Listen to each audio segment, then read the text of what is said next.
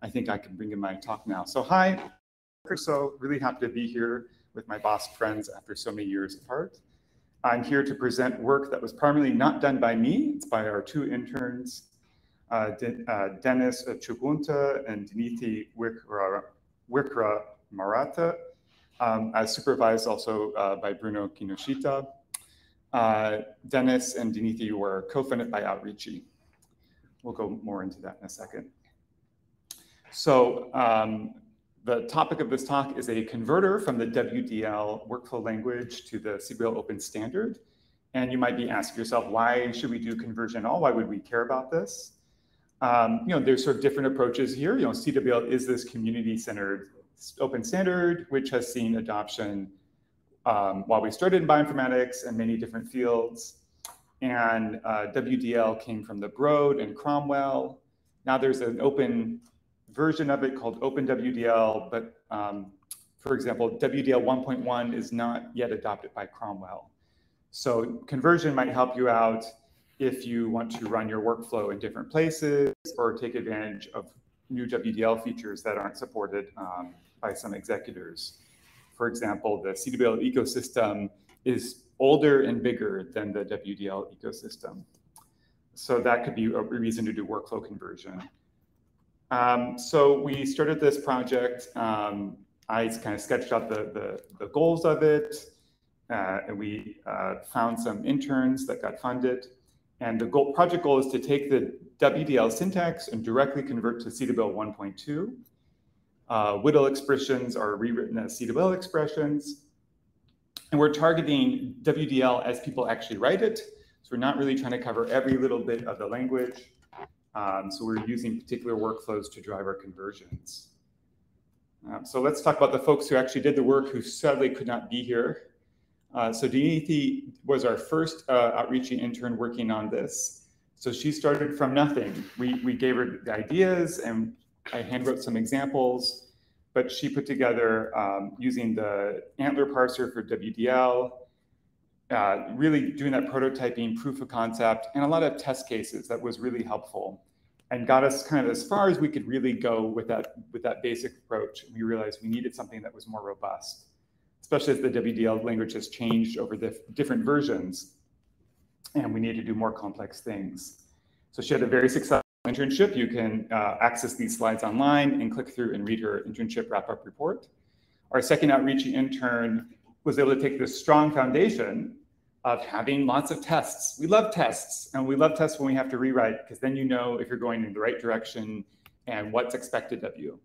Um, so he was able to move very quickly, and we rewrote the, the converter using the mini WDL uh, uh, parser and WDL ex executors. So many thanks to that project.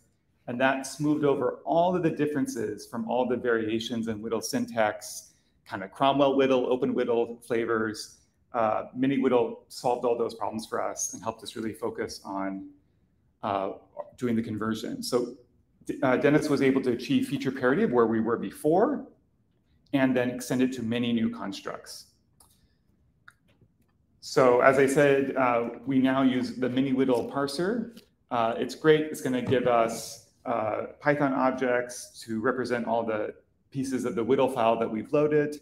And we're able to parse that and map that over using a similar library, but going the other direction that gives us CWL Python objects. We can map all the concepts over, and then we can serialize and output the CWL. So, so let's look a little bit about some of the, how does this actually work? So uh, as we saw earlier briefly in WDL, we have the command block at the center of every command, uh, command tool definition, and that's a bash script. Uh, so we explicitly make that a bash script in the CWL version where we, and then we represent the WDL uh, expressions as CWL expressions.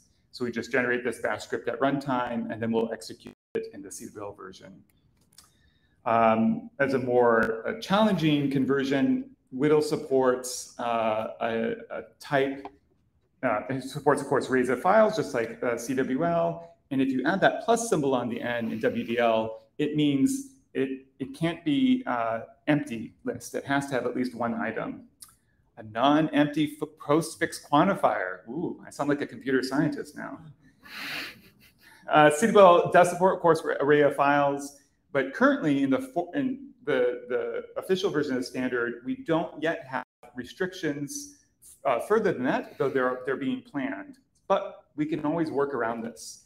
So we actually do an evaluation at runtime to see, check the length. And uh, if the length is not greater than zero, then we throw a little helpful uh, exception. You can do this today in CWL, very advanced little trick. Um, I wouldn't necessarily do this when I'm handwriting workflows, but when we're doing an automated conversion, it's really important to do your darn best.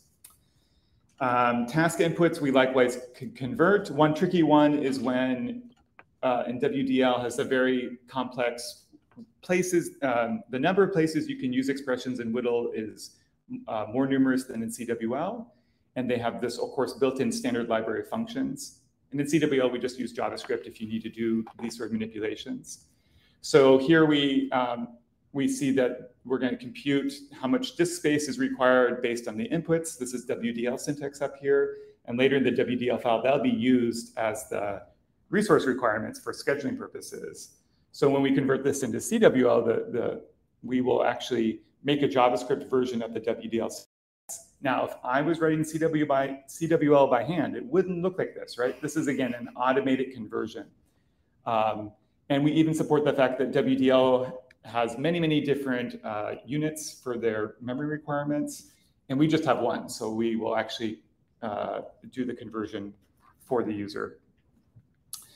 Uh, and another example, so that was with, sorry, that was with fixed Unix, and we can even, we even have a JavaScript snippet for it if it's dynamic units. You know, you don't actually want to write or read CWL that looks like this, but it means the conversion works and you can move forward. So I mentioned testing. Currently, we have 39 real-world WDL files plus 12 synthetic examples. Um, that are checked into our code base that are tested. Um, we check in the, the equivalents just to see how code changes might affect things. Um, for many of these, we do even have end-to-end -end tests where we found sample input data, ran it with mini-WDL, and ran it with the converted version, and are actually checking the outputs are identical. We do more end-to-end -end testing, but I think if anybody who's done this, it's very difficult to find bite-sized small test data that doesn't take forever to run a nice challenge for the whole bioinformatics community. I think testing and benchmarking is a very popular topic. Um, so our limitations, we support simple WDL scatterers. We not yet advanced ones. We're working on that. There's a lot of standard library functions in WDL that we've not yet implemented uh, on how to convert that to CWL. We know we can, we just haven't gotten to it. And then there's some more advanced types in WDL that are not so common that we have not done the conversion for, though we have a plan. Um, all of those limitations, though, uh, are also driven by user needs. So if you try out a conversion and something doesn't work, please leave us an issue. We'd love to hear about that. That's very motivating, and we might prioritize that better. In addition to producing a useful tool that's going to only get better, there's been some nice side effects. So we've opened many conversations with the WL community about clarifying their specification and uh, send some code up to the mini WDL folks to improve their product as well. And even for CWL, uh, we are looking at maybe adding some convenience features. Things have always been possible, but we can make a little bit simpler in CWL. So thanks to WDL for the inspiration.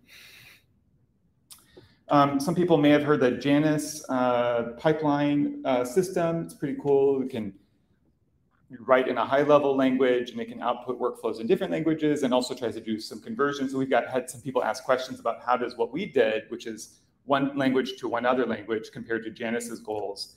Unfortunately, it looks like that project hasn't been updated in a while.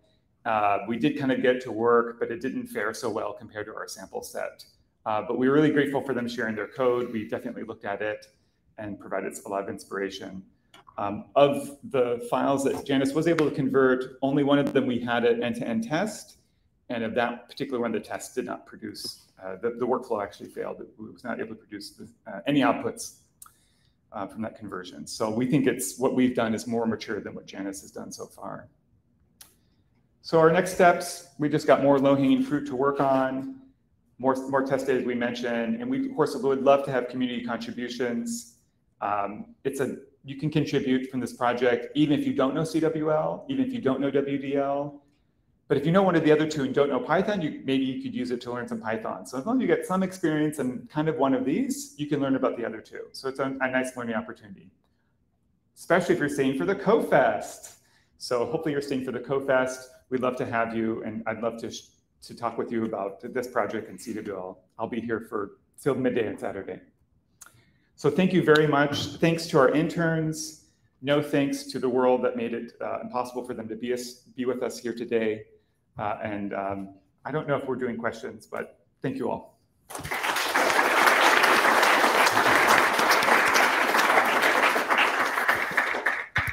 Thank you so much, Michael, for uh, being uh, so, so, right on time. We have maybe for a, a, a first question. Okay. Yeah.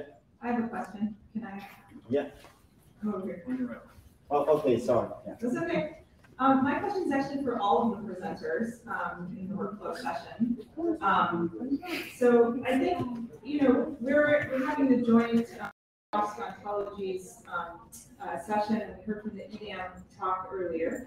And I'm just wondering if you all have some thoughts or some experiences in terms of how we kind of unite some of those elements. So specifically, for example, if I want to build a workflow where I'm using ontologies to classify the inputs and outputs of various elements, how do I how do I build those kinds of things in, in a standardized way to any of the workflow languages? And how do I use that for validation in order to check to see that the workflow is actually doing the things that I that I want? And I think there's some really great opportunities to do that fusion. So it's really for anyone who's um, really experienced with the workflow language um, question. So, do you have a WDL response? I have, but I mean, maybe labels. Yeah. We we can do labels. Yeah. So, I mean, I can give a CWL response. Um, we're longtime friends of EDAM, and um, uh, so you can use EDAM file formats in CWL. Those are checked for uh, if they're supposed to be compatible but not equal. That is checked at runtime. We are doing provenance testing with additional with CWL Prov, which is trained to this thing called our workflow run profile. Um, but definitely there is more to be done about verifying and confirming that things match. Um, I think also like file formats in general. Someone says, I have something that meets this. Is it really that? That's typically, like Galaxy hardcodes a lot of file format checking, but that's not really available in an easy to use way. So there's a lot of, that's a great question. There's a lot for, for more good things there. I have to give a shout out to EDAM though, right? Because that gave the blueprint for other communities to also catch up to this. So in CWL, we didn't, we support EDAM, but we didn't build it in. We said for bioinformatics, use EDAM. But for other fields, go build your own EDAM. So I think, um, yet again, the life sciences is kind of on the leading edge of how do we deal with complexity. So like claps to all of you for doing that.